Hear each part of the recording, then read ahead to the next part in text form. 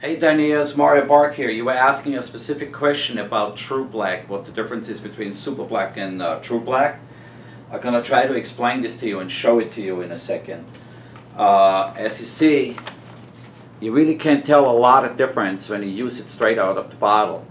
Um, True Black is a little easier to work with smaller group of needles, okay? So Super Black is a little uh, uh, more difficult to wipe down on the on the skin than the True Black. So it's it's the True Black would be easier to work with with a smaller group of needle.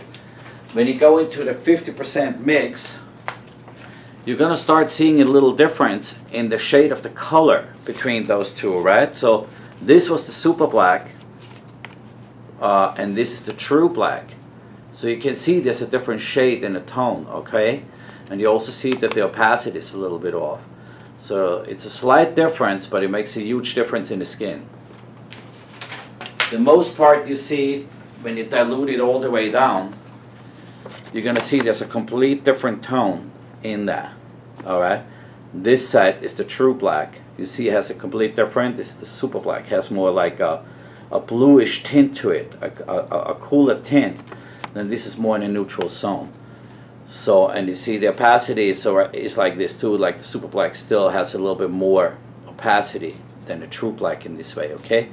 But it's named true black because it lays right between the warm and the really cold super black.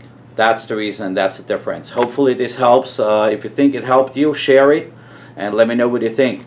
Talk to you next time. Bye.